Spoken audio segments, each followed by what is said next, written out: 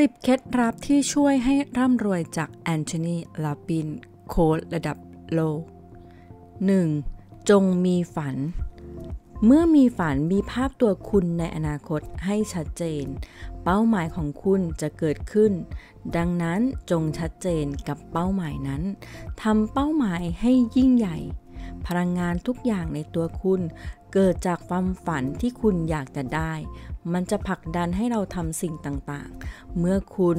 ไร้ฝันคุณไม่เคยเชื่อมต่อกับมัน คุณก็จะไม่มีพลังงาน สุดท้ายชีวิตคุณก็จะไปเรื่อยๆ ไม่มีเป้าหมาย 2. หยุดซื้อขายเวลาแลกกับเงิน ถ้าคุณทำงานเพื่อการมีชีวิต คุณกำลังซื้อขายเวลาของคุณเพื่อเงิน คุณสามารถได้รับเงินมากขึ้น แต่คุณไม่สามารถได้รับเวลามากขึ้น เวลาเป็นทรัพยากรที่มีจำกัด เวลาไม่สามารถเก็บเอาไว้ใช้ได้ และไม่ไหลย้อนกลับ คุณต้องคิดให้ได้ว่าจะต้องทำสิ่งที่ได้เงินมากขึ้น ในช่วงเวลาที่เท่าเดิมได้อย่างไร คุณจะต้องคิดให้ได้ว่า จะทำอย่างไร คุณจะต้องทำงานเพื่อเป้าหมายของคุณ ไม่ใช่แค่การมีชีวิตอยู่ไปวันๆ 3. เคารพกตัญญูและรักตัวเอง แม้คุณจะไม่มีเงินมากมาย แต่รู้จักคุณค่าในตัวเอง เคารพตัวเองและรักตัวเอง คุณก็เป็นคนรวยได้ ความมั่งคั่งเป็นอารมณ์ความรู้สึก ความมั่งคั่งเริ่มจากวิธีคิดในจิตใจ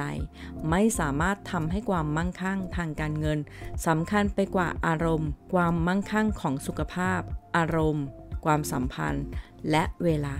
4. เป็นนักลงทุนที่มีวินัย อย่าคิดว่าการรับความเสี่ยงได้อย่างมาก คุณจะรับรางวัลได้เยอะ ให้คิดว่าทำอย่างไรจะทำความเสี่ยงให้น้อยที่สุดเพื่อให้ได้รางวัลเยอะ หลักใหญ่ในการลงทุนคือคุณจะต้องรู้เกี่ยวกับความเสี่ยง สิ่งที่คุณลงทุนไป การกระจายความเสี่ยงเป็นหลักการสำคัญในการลงทุน รู้จักเลือกสินทรัพย์ที่ดี จับจังหวะการซื้อขาย วินัยการเรียนรู้และลงทุนต่อเนื่องระยะยาว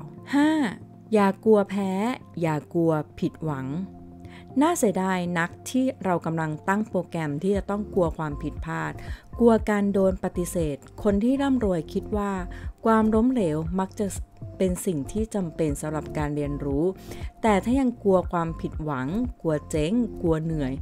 แนะนำให้นอนอยู่บ้านให้พ่อแม่เลี้ยงจนแก่ตายไปเอง ไม่เหลือให้ลูกให้หลานได้จดจำว่าครั้งหนึ่งเคยทำอะไร ให้คนรอบข้าง 6. ทำงานหนักขึ้น เพิ่มสร้างคุณค่าตัวเองมากกว่าสิ่งอื่นใด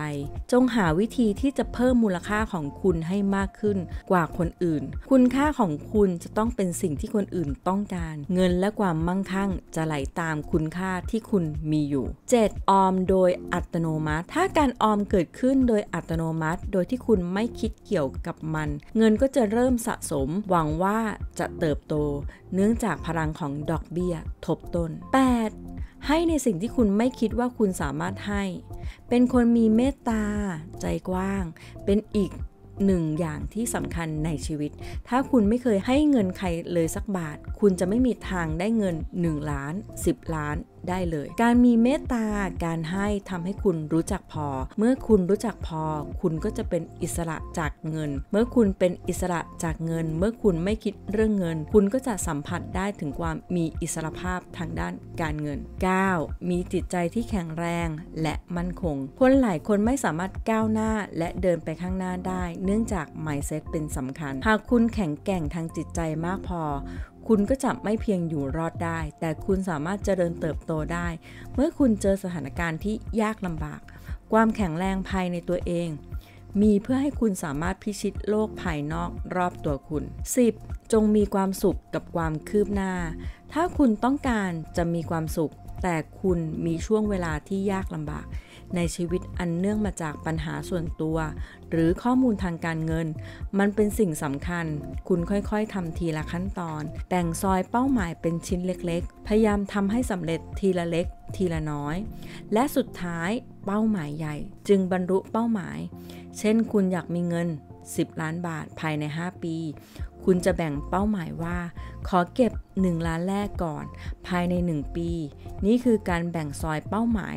ในแต่ละเป้าหมายย่อย ที่คุณบรรลุจงมีความสุขไปกับผลสำเร็จนั้นๆในแต่ละขั้น